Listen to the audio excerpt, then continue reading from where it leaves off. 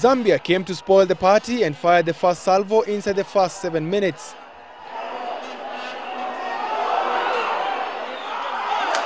Defender George Owino saved the Stars the blushes with a goal line clearance.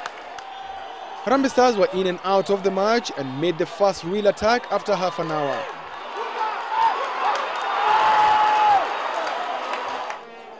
Two minutes later, George Owino was at hand again to save the Stars.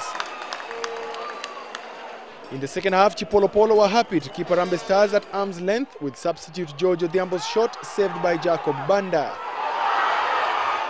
The copper bullets that are the Chipolopolo struck first in the 88th minute. Chimanga's bullet header was unstoppable. The home fans could not take it anymore and started the mass exodus. But Chimanga was not done yet as he delivered the sucker punch deep in stoppage time.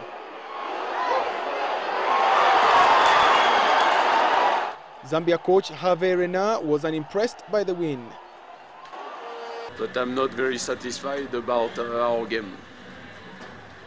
The score is good, but uh, the performance, our performance, uh, except the first 10 minutes and the last 10 minutes, we were not very good.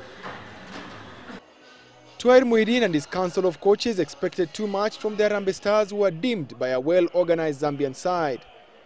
There are some mistakes which were exposed and we are going to work on them and uh, see us through in the next two games. All is not lost. It's the first game. This is a tournament and uh, we are still going to continue. The Stars have three days to regroup before taking on Djibouti on Wednesday in their second match. Michael Kinyi for Citizen Sports.